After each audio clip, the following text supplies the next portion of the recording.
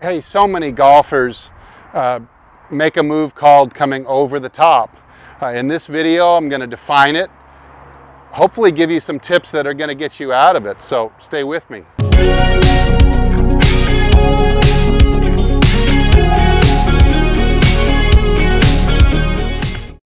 Hey, this is Steve from HitItLonger.com, and today we're going to talk about the horrible move called over the top. So let's take a look what over the top means. To me, an over the top swing is on, when on the downswing, the right shoulder stays high and goes out over the target line like this. It be, could be accompanied with a little bit of a forward head rock like this. Um, often it can be accompanied by a lack of motion at the hips and the lower body as well. The two typical shots that an over the topper would tend to see would be a low pull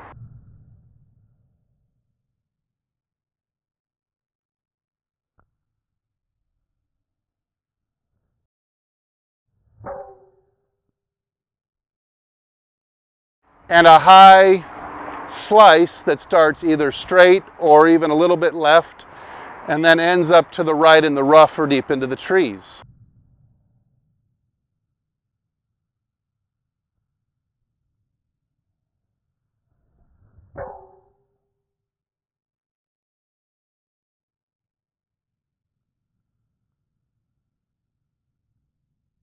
It will also give you a super steep angle of attack it will give you a very high rate of backspin.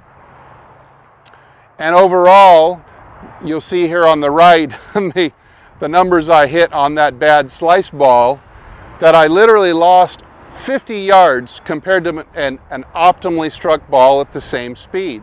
Now, there are two common ways that golfers will get over the top, depending on your setup and your backswing.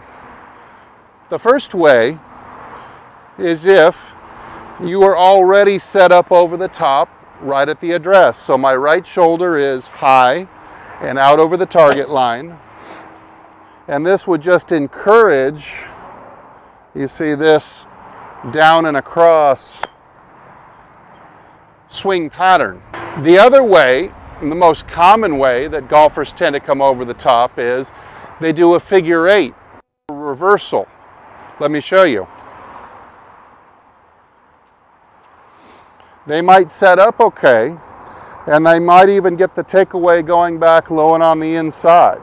But when they get about halfway up, their arms will start to lift above the plane line and continue to circle as if they're forming a figure eight. That would look something like this.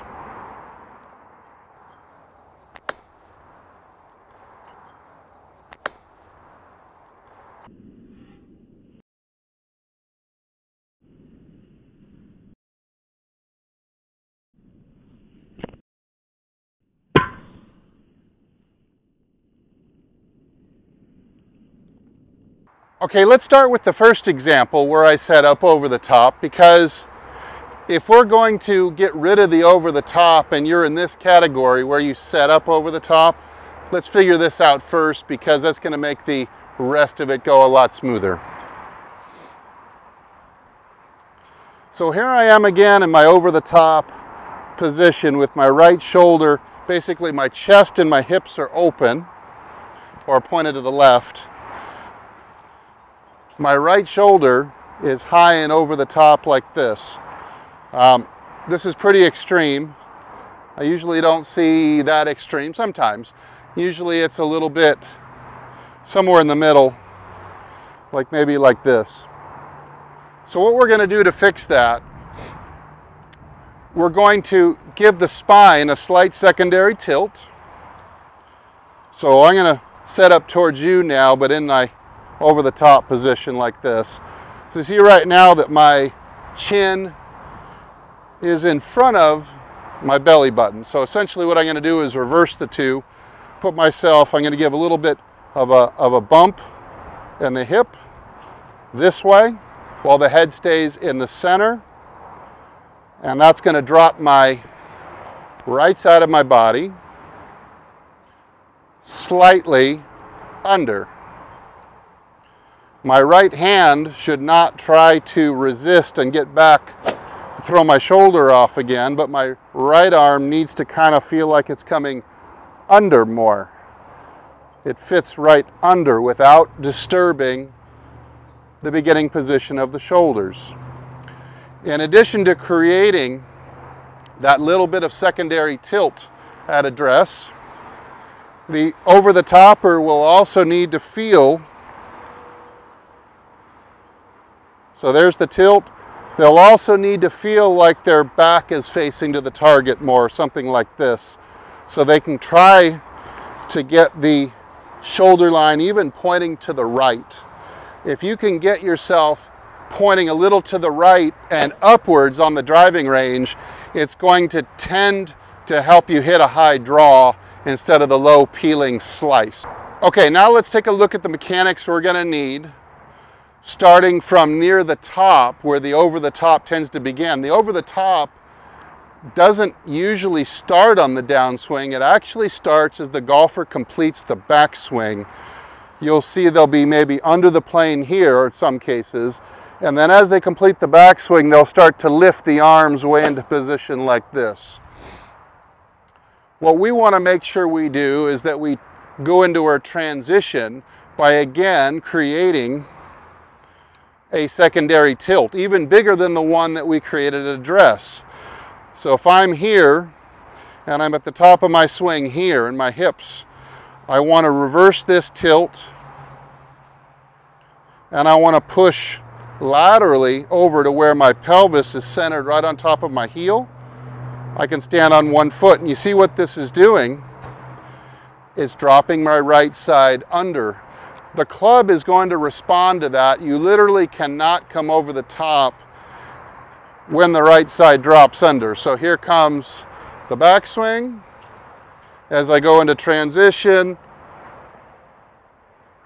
shifting as I'm turning my body, I am pushing into a side bend and that's dropping my right side under and see I, I, I just can't come over the top anymore. Yeah, I suppose you could probably find me somebody who still does. Um, we could figure out how to make weird movement patterns sometimes, but typically if you're feeling like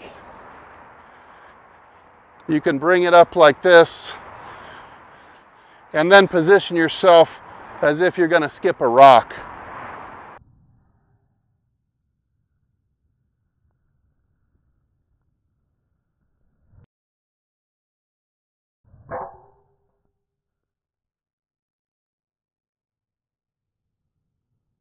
You just simply can't come over the top anymore.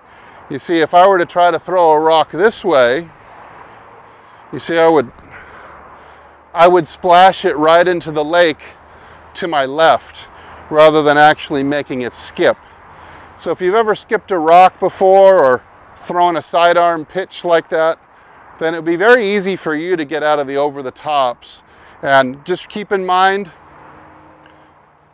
the pivot we need as we're going into the top of the swing, we start to push the left hip towards the target as we're turning.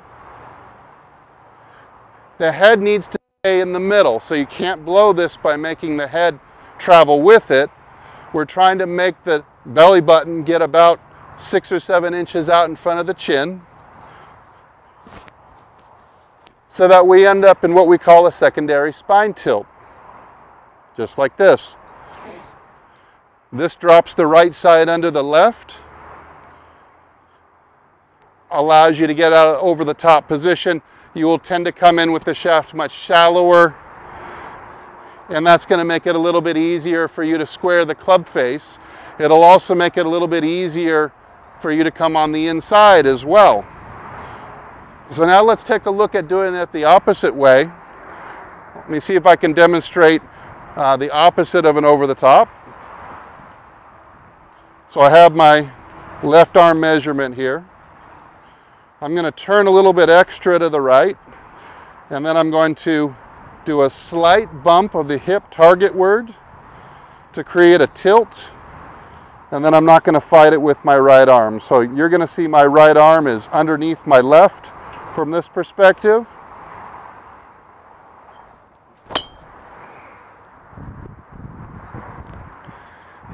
And instead of hitting a over the top, outside in and downward slice, I actually hit a nice towering high draw there that really got some good distance relative to the effort that I put into it.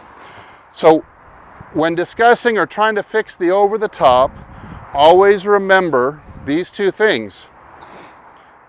The checkpoint on the setup, make sure that instead of being like this, that you were like this.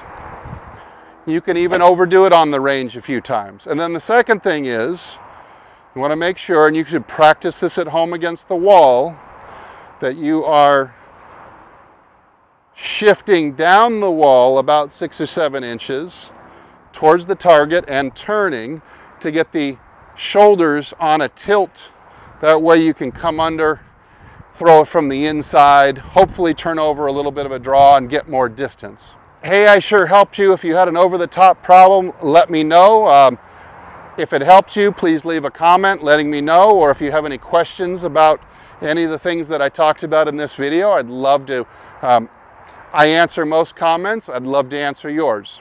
Hey, thanks to Golf Development Complex in Moorpark, California. I hope you'll check out some of my, some of my other videos, and I'll see you next time, hopefully down the fairway.